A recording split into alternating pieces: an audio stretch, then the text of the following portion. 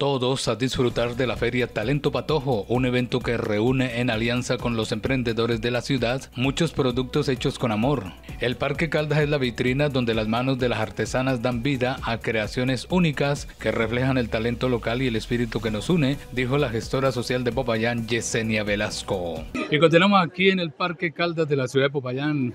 Talento Patojo es esta feria de emprendedores del departamento, los artesanos precisamente. Doctora Yesenia Velasco, gestora del municipio Popayán. Qué bueno encontrarnos con estos emprendimientos. Hola, ¿cómo están? Bienvenidos a este del espacio de ustedes y gracias por estar aquí siempre queriendo informar a todos de lo que estamos haciendo. Pues quiero contarles que desde la alcaldía de Popayán, obviamente en cabeza de nuestro alcalde Juan Carlos Muñoz y con la Secretaría de AFE, estamos aquí nuevamente en el Parque Caldas con nuestros emprendedores. Esta es una feria de talento patojo donde estamos convocando a todos los emprendedores. Se hizo por medio de una convocatoria se hizo un trabajo muy arduo con Secretaría DAFE y bueno, bienvenidos a todos. Esto lo continuaremos haciendo en fechas especiales y estamos en la fecha más especial de septiembre, que es Amor y Amistad. No debe ser un solo día, debe ser siempre, pero bueno, como es un fin de semana de celebración, entonces invitamos a todas las personas para que vengan a comprar los regalitos. La gente reclamaba estos espacios, aunque algunos también los critican, ¿verdad? Sí, esos son controversias que vamos a encontrar en todo pero estos espacios los vamos a tener para fechas especiales, además porque lo que les decíamos a nuestros emprendedores es que van a tener espacios seguros, tranquilos, entonces vamos a tener otros como ya lo hemos venido trabajando, se ha trabajado de la mano con Secretaría DAFE y los centros comerciales que nos están apoyando muchísimo, Centro Comercial Terra Plaza, Campanario Centro Comercial y otros espacios que también vamos a encontrar en actividades muy interesantes y que finalmente esto tenga eh, eh, un fin, ¿sí? No solamente es para que la gente se acomode aquí compren y ya no, sino que también hayan proyectos de capacitación, de educación para nuestros emprendedores, que eso es lo que se quiere desde acá de la alcaldía de Popayán.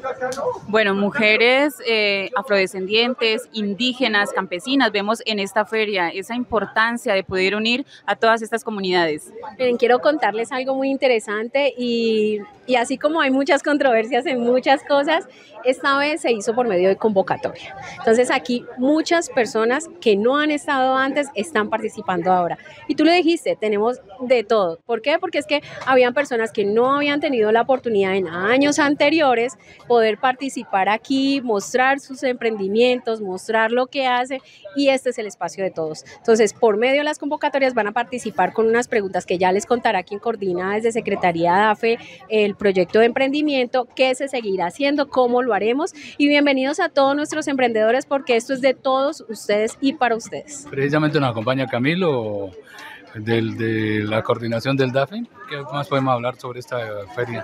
Bueno, extenderles un cordial saludo en nombre del señor alcalde, que bajo su liderazgo y con el acompañamiento de la gestora social, pues ha permitido que hoy el Parque Caldas esté en esta feria Talento Patojo. Contamos con 19 asociaciones de emprendedores, emprendedores independientes que en conjunto, trabajando mancomunadamente, pues se creó este espacio. Tenemos hoy 230 emprendedores dispuestos a atender a Popayán e invitarlos a que participen, a que compren lo nuestro, que como bien lo dice la feria, es el talento local, es el talento patojo, hay que apoyarlos y seguir con estas ferias de emprendimiento que tienen un impacto muy positivo. Esperamos que en estos tres días de feria nuestros emprendedores tengan unas ganancias bastante altas. El Congreso Gastronómico ya nos dejó unas enseñanzas en este aspecto y es positivo el balance que, que reciben los emprendedores de estos ejercicios.